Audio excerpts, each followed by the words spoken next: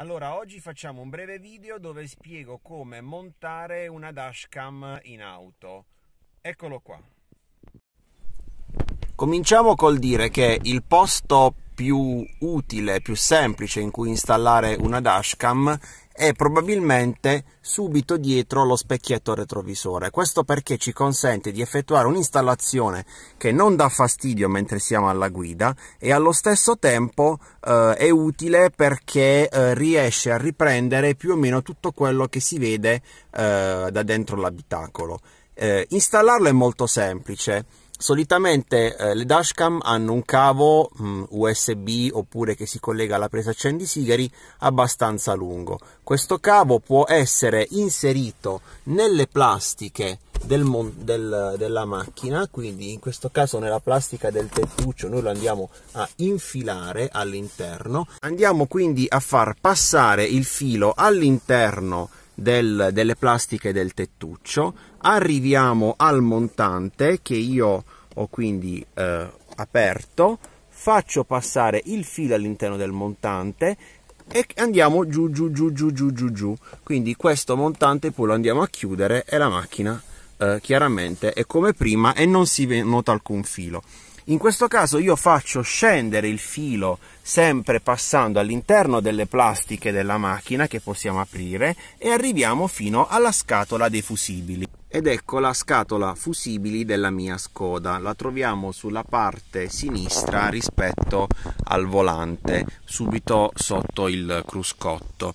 Io qui sono andato a mh, installare quindi una cosa in più che faccio rispetto al normale. Solitamente eh, viene collegato o a una presa USB della macchina ad esempio come può essere quella che troviamo ormai nelle auto più ehm, più moderne oppure magari alla presa accendisigari. Nel mio caso ho voluto veramente nascondere tutto, quindi ho fatto finire il filo all'interno della scatola fusibili e all'interno della scatola fusibili poi sono andato a fare un ponticello eh, con il fusibile del ehm, eh, del, dell'accendisigari quindi quando accendo la macchina anche questo fusibile viene eh, alimentato e mi alimenta un sistema che mi converte poi l'alimentazione in una presa USB di cui vi faccio vedere l'immagine in questo momento.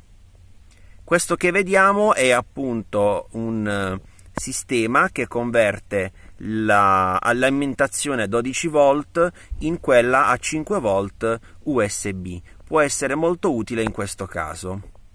A questo punto richiudiamo la nostra scatola dei fusibili. Uh, la dashcam dovrebbe essere correttamente installata. Vediamo un attimo, se giro la chiave, la dashcam dovrebbe ora accendersi. Ed ecco che vediamo una lucina comparire qui e significa che la dashcam è attiva e in questo momento sta registrando quello che avviene davanti a noi.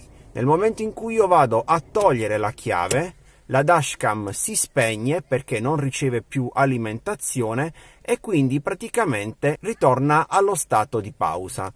Se questo tutorial vi è piaciuto mettete like al canale e ci vediamo alla prossima. Ciao a tutti!